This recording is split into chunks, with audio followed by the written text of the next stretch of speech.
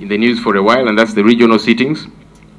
I saw yesterday my picture being used to promote these regional sittings, even after we came out clearly uh, expressing concerns about this. I don't know if it is blackmail or whatever the case might be. Look, we reiterate the fact that uh, we are opposed to these regional sittings. Does that mean we are opposed to the regions, the different regions, and the country for that matter? Of course not. One of the things we have been saying is if government, if parliament is serious about addressing the concerns from the different regions, why don't we allocate a week here in our plenary to each region? And we say this week, we are now going to be handling matters to do with Western Uganda. Next week, Northern Uganda. Then Eastern, Central, like that. In that particular week, you have all the ministers concerned, members of parliament from those areas raising all these different issues, and then we come out with clear action plans. That's less costly. And yet you would be addressing the concerns of these different regions. It is less costly than the billions to be spent in transporting the entire parliament to these different regions. So for those that have been misrepresenting us, saying the LOP and these opposition MPs are against these different regions, far from it. Far from it. In fact, the concerns of many of these places have been raised severally by members of parliament from these different places. And not much has been done. Why are we not insisting that action gets to be taken? Our colleagues from northern Uganda have severally raised the issue of Karuma Bridge, which has been closed out to several vehicles, especially the heavy ones. And so transport fares have doubled, travel time has doubled. That's an issue we know about. Why don't we push government to deal with it immediately? The Apaa land question to date is still unresolved. The question of boundaries in northern Uganda, which has caused skirmishes here and there, is still not addressed effects of nodding syndrome are still glaring. And our colleagues from northern Uganda have raised those issues here in Kampala in our plenary severally. And now you want to lie to them that once parliament moves to their region, those issues are going to be addressed. And if they've been raising those issues here in our plenary and ministers present, and not much has happened. We should be pressing government to addressing these concerns. So it is not true when you clearly hoodwink people and say now, when we come there, those issues are going to be addressed. The issues are known. And our colleagues from these different regions have been raising these concerns. That's what we must be insisting on. Committees of parliament, as we have been saying, ought to be empowered. And committees have gone to these places, different parts of the country, specifically northern Uganda, and they have brought back reports which we have discussed, whether it be about nodding syndrome, cattle rustling, Apaa, uh, land question, the Karuma Bridge that has been closed off to several vehicles and so on. And even now, as we speak, there are some committees that have gone ahead of Parliament. Again, that is less costly because if you're sending committees, when they bring reports, let's attend to those reports. Why do you want to insist that now we must take the entire Parliament at a huge cost? as if we don't know the issues of concern to the north and to the west and east and central. We know these concerns. If we care about these people, let's address those concerns because they are members of parliament whom they sent to represent them have raised those issues severally as matters of national importance and so on and so forth. So to spend a lot more money for parliament to go and sit in these areas and yet it will still be parliament because people are not going to come and attend parliament and address parliament because that's not what happens. Any few that will come will be in the gallery, whichever the gallery will be. So we, we have seen people who have used this situation to blackmail us and say we are against northern Uganda or no, the regional sittings are not just in the north. They're going they're meant to be in every region. So it's just that the northern region is meant to be the first place. But we are saying let's address the issues of northern Uganda. Because the northern Uganda has got concerns. The Western Uganda, Eastern Central have got several concerns. Can we address those critical concerns?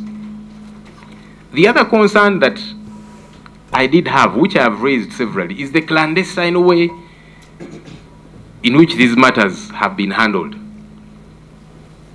The Speaker calls a meeting of a few commissioners here and there, and then they decide.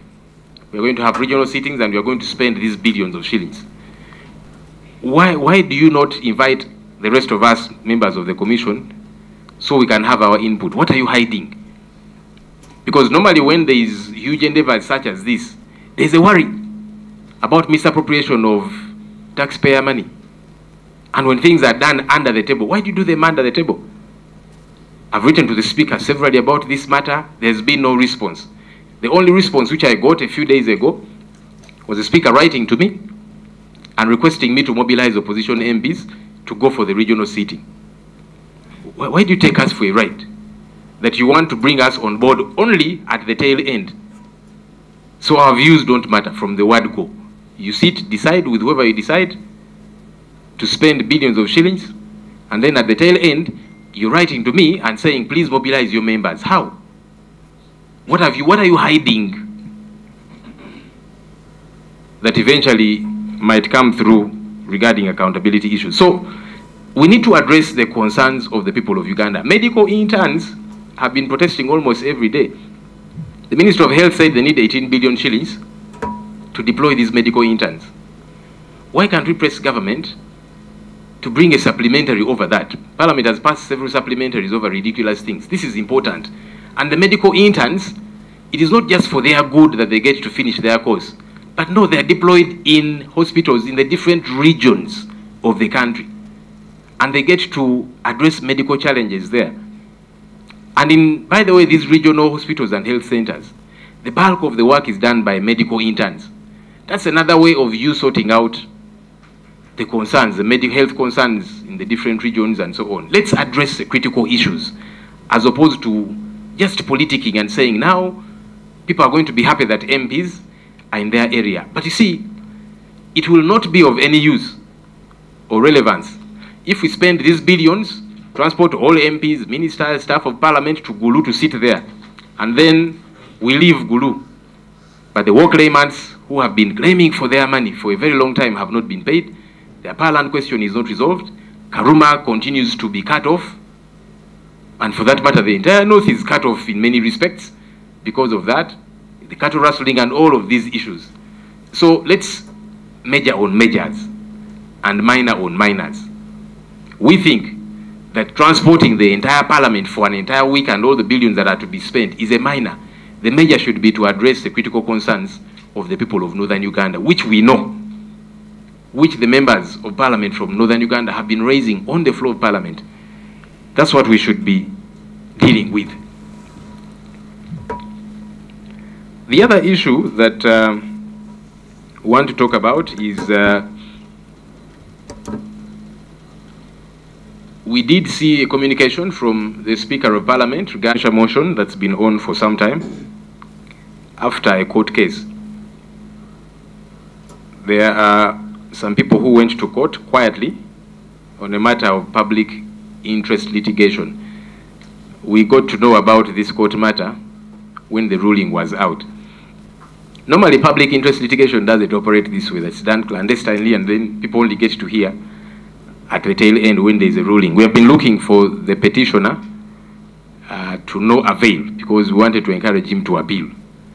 But uh, he's not available to us, clearly showing who might have gone to court or who might have taken themselves to court. But that on the side. If our colleagues, the commissioners, thought that this court ruling exonerated them, incidentally, it does not. I'm hoping they had time to read the entire, about 23 page judgment. Because while court might be saying ah, it is okay for you political leaders that this matter passed through the channels it should have. Court is saying the clerk to parliament should be punished. We are saying, why then would you be punishing the clerk to parliament if all was well with these service award issues? Because what did the clerk do? The clerk attended this meeting the clerk attends commission meetings as secretary to the commission and takes note of decisions taken by the commission, and his role is to implement. he does not take decisions on behalf of the commission. The commission takes decisions and then tells the clerk, go and implement. So now you want to punish the one who implemented. How does that make sense? The clerk did not participate in this decision. The clerk did not even benefit from this service award. But you're saying those that came up with the idea, passed it, and got the money, it is okay. But the clerk to parliament, whose role was to implement the decision taken, has got to be punished. It's very problematic. Even a non-lawyer can see that there is a problem. But bottom line is, it does not get the commissioners off the hook. Because if the court that you run to to absolve you is saying, okay, we are absolving you, but the clerk should be punished, the clerk is being punished for the money that you agreed to give yourselves and that you eventually got. So it does not take away the question of the service award being problematic. I want to encourage the Speaker of Parliament, Right Honorable Anita Annet Among Magogo, not to be afraid of debate. Because what the censure motion was saying is, let's debate this issue. I don't know why the speaker is trying to run away from debate. I don't know why what she's trying to shield. Of course, also given that she chaired this particular meeting. So I want to encourage her, do not be afraid of debate if what you guys did was right. Especially now that they are saying the clerk should be punished. For what exactly? What, what wrong did the clerk do? Away from these people who agreed to give themselves money and they got this money. The commissioners may run, but they cannot hide forever regarding this issue. Because as we have said from the word go, it was problematic. These are people who were in office for a few months. And a few months down the road, you're saying, let's sit and award ourselves money. For what? What exactly had you done in a few months' time? What, really, had you done? And then, of course, for the then LOP, I, I don't know, it's ironical that uh, government says we, you have opposed us nicely, so we are now awarding you for opposing us nicely. Some of these things don't make sense. So we are not dropping the ball on this issue. What happened was wrong, and court has actually said that. That's why they're saying the clerk should be punished. Um, and again, people can petty